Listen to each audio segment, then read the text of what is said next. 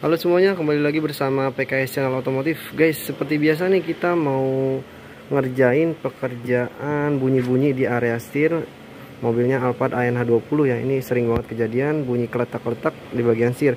Tepatnya bunyi tek-tek. Jadi kalau mobil diem, kita belokin setirnya ke kanan sama kiri atau kiri itu bunyi tek-tek nih guys.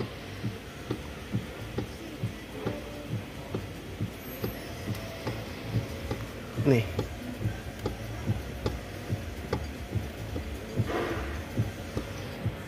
kedenger ya? Agak kencang nah. Nah bunyi tek-tek ini khas banget nih bunyi damper setir hancur nih guys. Kita mau bongkar dulu damper setirnya kita turunin siring kolom. Jadi untuk penggantian damper setir ini bisa jadi salah satu alternatif ya untuk menangani bunyi tek-tek di bagian setir. Jadi ada beberapa yang memang setelah diganti damper setir itu sembuh guys kita coba dulu buka damper setirnya lihat kondisi damper setirnya seperti apa ya guys. Kita kerjain dulu yuk. Oke guys kita udah turunin steering kolumnya. Ini motor udah kita buka juga dan ternyata memang kondisi damper setirnya udah hancur nih. Tuh udah hancur berantakan. Jadi memang wajar nimbulin bunyi keletak-keletak di bagian setir terutama di bagian atas ya. Karena di persinggungan sini yang harusnya gerakannya diredam sama damper setir tapi karena damper setirnya hancur makanya dia nimbulin bunyi keletak-keletak karena ada space atau gap di situ. Oke ini kita proses dulu untuk penggantian damper setirnya. Karena part yang barunya itu seperti ini guys. Aduh lu goyang mulu. Nah karena part yang barunya itu kayak gini nih. Tuh penuh semua ya. Lengkap plastik sama karetnya itu. Bentuknya bintang. Harusnya pergerakannya itu diredam sama damper setir ini. Tapi karena damper setirnya hancur makanya timbul bunyi tek-tek di bagian atas. Nah ini adalah spacernya nih guys. Ini hancurannya nih. Kita bersihin dulu serpihan-serpihan di dalamnya. Nanti kalau udah bersih baru kita pasang part yang barunya. Oke. Okay.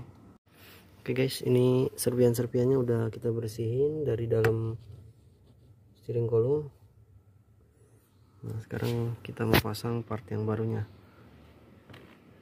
Ya itu dia.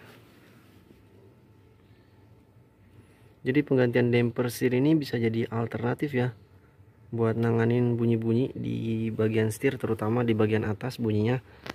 Dan tapi harus dipastiin juga tuh kondisi steering column sama kaki-kakinya itu bagus semua. Nah ini posisi pemasangan damper setir yang baru sama spacer lanjut kita pasang motor EPS nya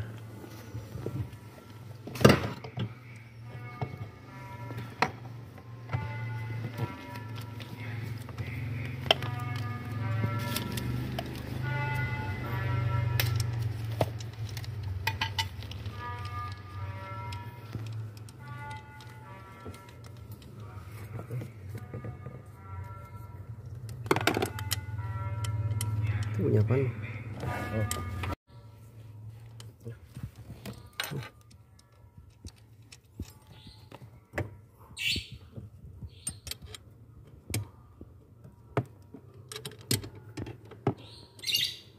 Aduh.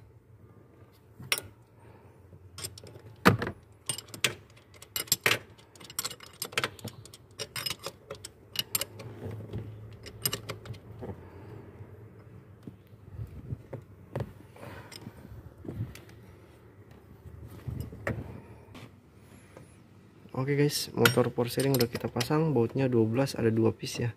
Udah kita kencengin juga.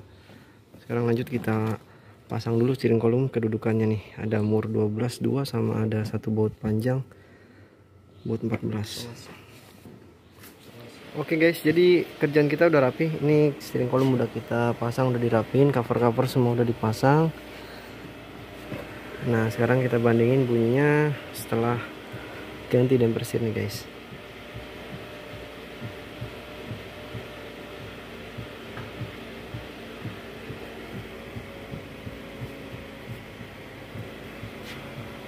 Oke jadi sekarang bunyi tek-teknya udah hilang ya guys. Udah nggak bunyi. Tapi memang masih ada bunyi gluk-gluk ya Itu dari steering pack atau joint steer. Tapi yang bunyi tek-tek di bagian atas itu udah hilang. Penyebabnya adalah damper damper setirnya yang udah hancur. Tadi udah kita ganti. Itu memang sering banget kejadian di mobil Alphard ANH 20 karena dia bahannya plastik sama karet ya lama kelamaan sering waktu pemakaian dia hancur guys. Karena bahannya plastik. Nah jadi penggantian damper setir ini adalah alternatif untuk menangani bunyi-bunyi di area setir terutamanya setir bagian atas ya. Jadi kalau lebih sering lewat jalan jelek maka bisa lebih cepat aus sering kolomnya bunyi. Oke jadi sekian dulu guys untuk sharing kita kali ini mengenai penggantian damper setir di mobil Alphard ANH 20 jangan lupa untuk like, komen, dan subscribe. Nyalakan lonceng notifikasinya untuk mendapatkan video-video menarik dan informatif lainnya guys. Semoga bermanfaat ya. Terima kasih